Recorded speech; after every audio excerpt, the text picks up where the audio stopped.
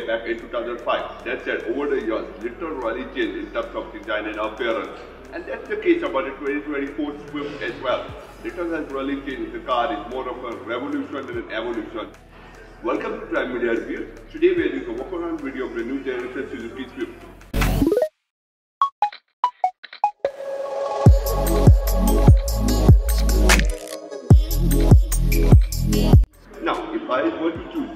generation Suzuki Swift, there would be two Swift Motion and Ultra Swift forms on the new generation Swift.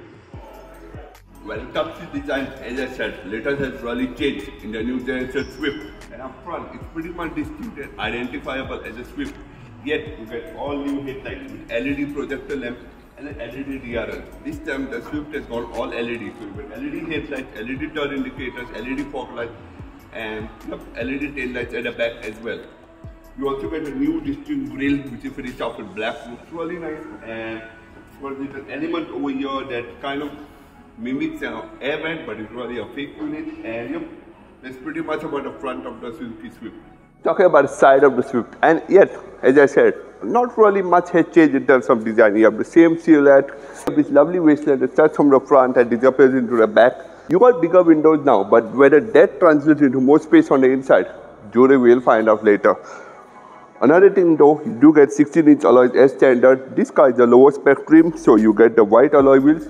The top spec Ultra does get a polished finish, which we will show you later in the video. Talk about the rear of the Swift, again nothing much has changed, but you do get a new tailgate and LED tail lights at the back as I said. For the smoked effect with this LED bar on the inside looks really great and it says hybrid because this time the Swift comes with a hybrid system and got a nicely shaped bumper as well. Another nice touch is the spoiler on the top which is a standard addition to the Swift as well. So that's about the exterior of the new generation Suzuki Swift. Do you like the design of this car or do you like the previous generation? Do remember to comment in the comment section below. Let's jump on the inside and check out the interior of the new generation Suzuki Swift.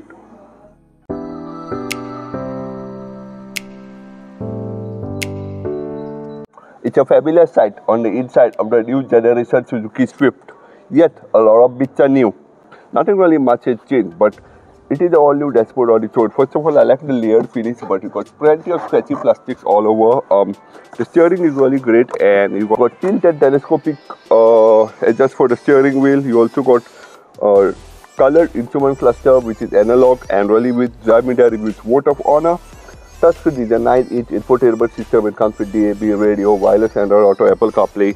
Got a little central console here for your AC controls. Um, the only little disappointment here, however, are these AC vents. They're a bit small and they look out of place. But overall, the central console is more driver focused. So that's really a nice touch. Got a little storage area here for your phone, cup holder. That's your gear selector. That's your manual handbrake, and you got heated seats for the driver and the passenger. Another nice touch.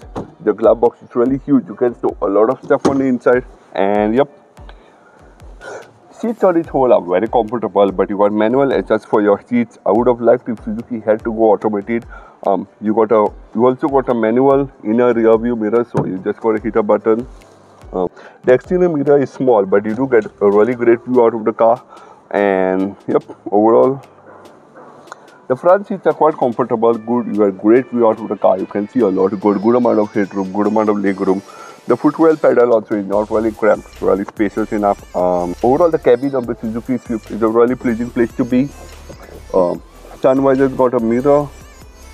A bit of struggle to open the mirror on the sun visor, but then I can see myself. I look really handsome, though I do miss the light, so I don't really know how will I look at night. And it's the same for the passenger as well. So that's about the cabin of the new generation Suzuki Swift. Let me know what you think about it in the comment section below. I'm going to jump in the back now and check out the space on the back. So the back seat of the Suzuki Swift, first thing, you got ample amount of headroom, slight cabin here from the roof at the side, so three people will not really fit comfortably. Got a bit of lack of tie support for tall people, but your legs really fit well under the seats, and especially my long suits.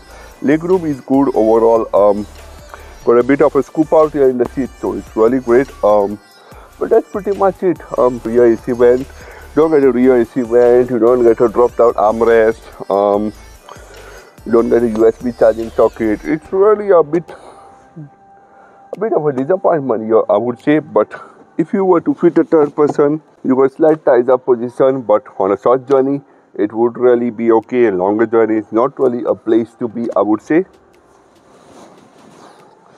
That said, you do have a very big window on the Suzuki Swift at rear, so it's really great, and you get a good overall view out of the car.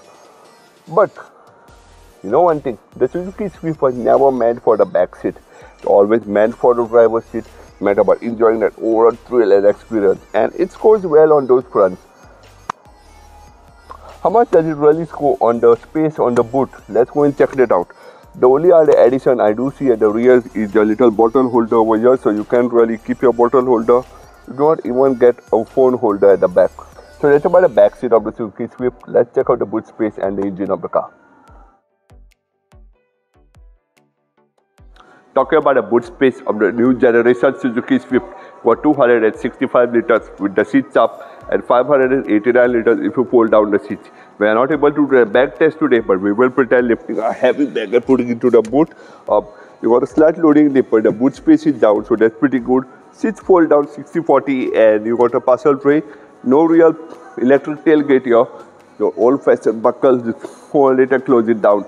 And yep, that's pretty much it on the boot space of the new generation Suzuki Swift. Suzuki is known to pack the Swift with loads of features and safety tech.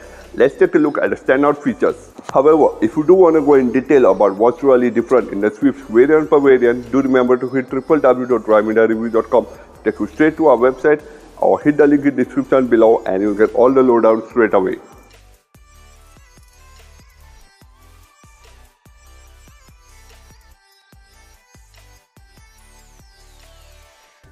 Talking about what's powering the Swift, you got a single engine which is a 1.2 mild hybrid petrol engine.